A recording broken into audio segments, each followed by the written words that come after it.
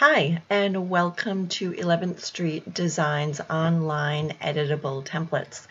Today I want to show you how you can edit this particular um, lawn sign. So let's get started. It's, it's super easy. You can open it up in any browser. These can even be edited on mobile devices, um, but you really have a lot more um, editable options using a computer and a web browser. So let's go ahead and get started. Um, we opened up this eight, this 24 by 18 inch lawn sign, and it's pretty simple. Uh, we can just come over here to the right. We can click on Edit Background. That allows us to choose any color we would like. So you can use the color picker down here and sort of do it by eye. Um, if you know your RGB colors, you could enter them in there. Um, hue, saturation, and light, uh, that's a little bit more um, advanced. Um, but if you happen to know those colors, you can enter them in there as well. Or these are the hex uh, colors.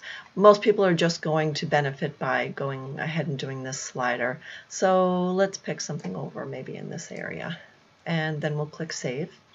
So that changes your background color for you.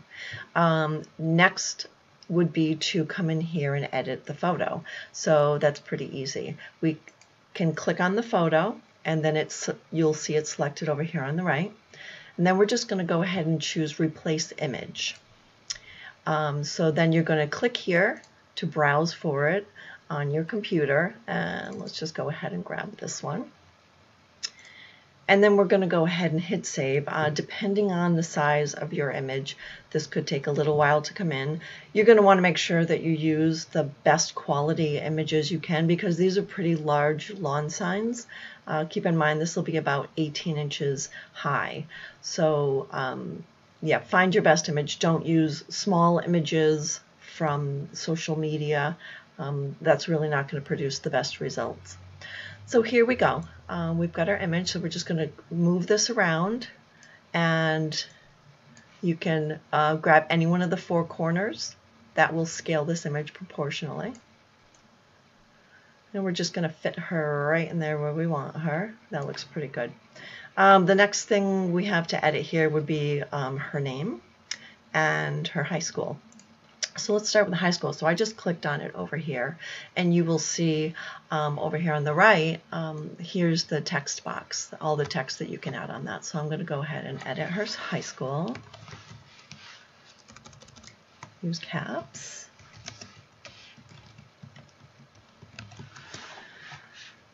Okay, and that looks good. And the next thing I'm going to want to edit is her name. So we'll click on her name.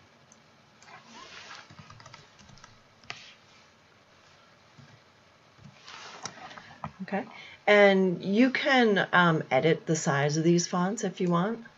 Um, we've got this set to 152 points. Um, there are a few ways that you can edit the size of these. You can just grab any of the four corners and just drag up, drag up or down. That'll do it.